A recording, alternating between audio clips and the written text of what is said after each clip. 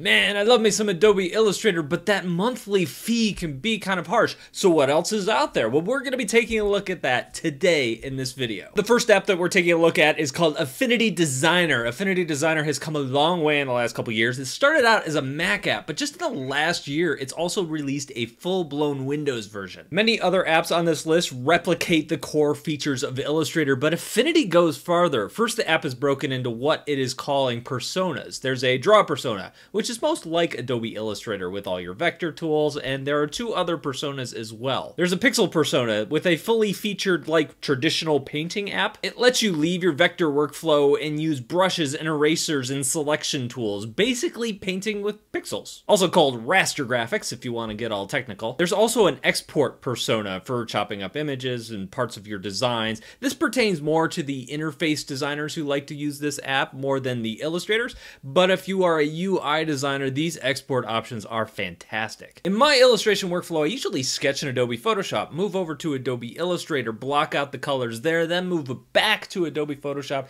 to do a lot of my color finishing and textures and things like that. What's nice about Affinity Designer is you could do all of that here in one app. Affinity Designer has also been growing by leaps and bounds, so if you're just getting started in vector apps, I would take a look at Affinity Designer because there are a lot of resources and tutorials already out there.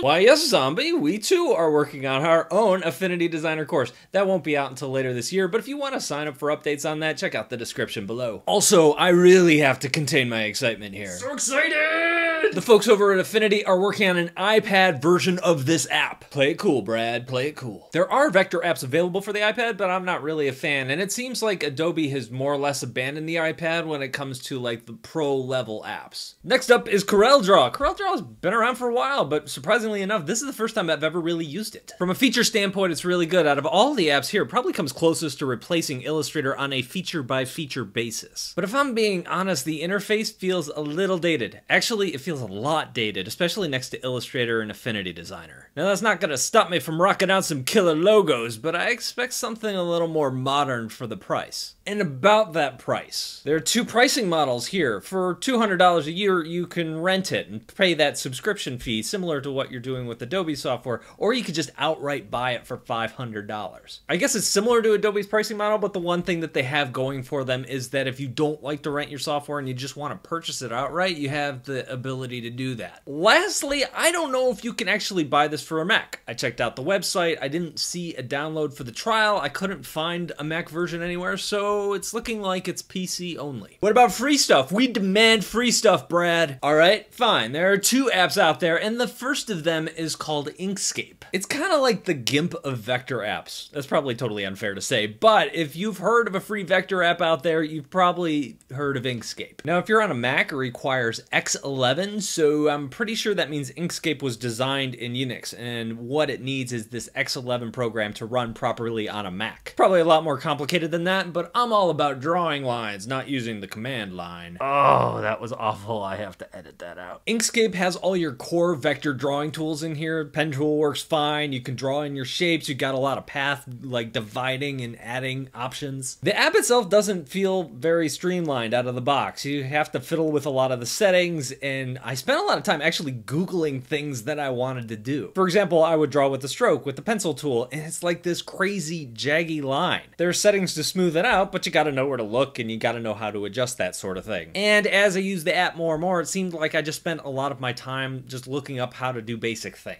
But if you're looking for something free that checks all the boxes, Inkscape will do it for you. The other app I want to look at is called Gravit Designer. It's purple, but once you get past that, it's a cool little app. If you're trying to decide between Inkscape or this, I would probably start here. It just feels a lot more streamlined. One thing worth mentioning is that the app has a lot of vector tools, but it feels more like a design tool, like for layouts and compositions and UI, that sort of thing.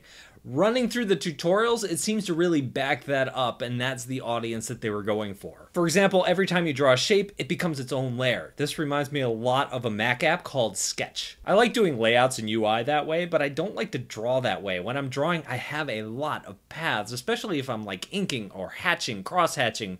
Uh, with my artwork, the layers get really unwieldy really fast, and it's hard to actually use a really cluttered layer palette like that. I think if you're drawing just like icons, simple stuff UI, it's great for that. I should also point out since I mentioned Sketch that I'm not including this on this list, mostly because I just don't think it's an Illustrator replacement. It has some vector tools, it has some stuff there, but it's not really built for illustration, so for now, keeping it off the list. I think Gravit Designer is like right on the edge. It lives somewhere in between Adobe Illustrator and Sketch, and since it's free, that got it a spot on this list. So there we go. Those are the programs that I think best replicate Illustrator. Let me know if I missed any, also let me know which one's your favorite and let me know why. That's all I've got for this week. I'll see you guys later.